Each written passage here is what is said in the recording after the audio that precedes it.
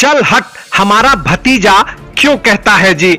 उस दिन तो कह दिया कि उसके खून और मेरे खून में फ़र्क है, वो मेरा भतीजा नहीं है।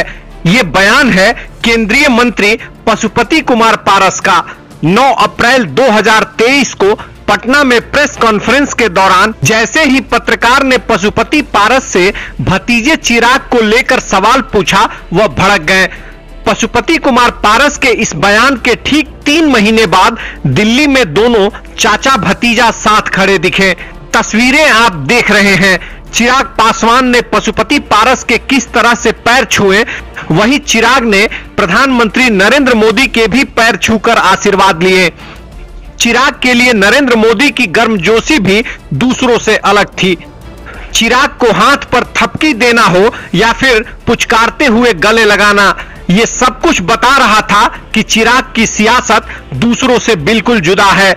यह सच है कि बिहार की राजनीति में अति पिछड़ा और दलित वोटों पर किसी एक नेता का कुछ कब्जा रहा। उसमें दिवंगत रामविलास पासवान का नाम सबसे पहले आता है। बिहार के दलितों में रामविलास पासवान की छवि एक अलग तरह के नेता की थी। जब भी रामविलास पासवान बिहार से चुनाव लड़े, लोगों ने दिल खोलकर वोट दिया। बिहार में महागठबंधन की सरकार है। लोजपा रामविलास के नेता चिराग पासवान को मालूम है कि लोकसभा चुनाव में बेहतर परफॉर्म करने के लिए एनडीए का साथ ज़रूरी है। एनडीए को भी ये एहसास है कि लालू नीतीश के परंपरागत वोट को ब्रेक करने के लिए चाचा भतीजा दोनों ज़रूरी है। बीजेपी दोनों को साध कर चल रही है। कल तक एक दूसरे का चेहरा नहीं देखने वाले दोनों चाचा भतीजा सौम्यता के साथ पीएम मोदी के पीछे खड़े हो गए हैं। इसे देखकर आपको अंदाज़ा हो गया होगा कि बीजेपी जो चाहेगी वही होगा। बीजेपी को यह पता है कि पशुपति कुमार पारस पर सियासी लगाम लगाकर रखनी है तो चिराग को साथ रखना होगा।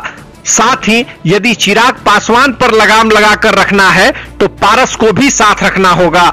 बता दें कि रामविलास पासवान के नेतृत्व में अविभाजित लोजपा ने 2019 में छह लोकसभा सीट पर चुनाव लड़ा था और बीजेपी के साथ सीट के बंटवारे के तहत उसे राज्यसभा की एक सीट भी मिली थी।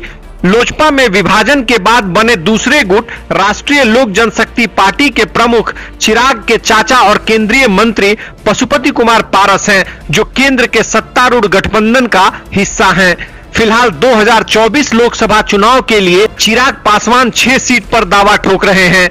चिराग अपने पिता की परंपरागत हाजीपुर सीट को छोड़ने के मूड में नज़र नहीं आ रहे हैं। फ़िलहाल हाजीपुर सीट से रामविलास पासवान के भाई पशुपति पारस सांसद हैं।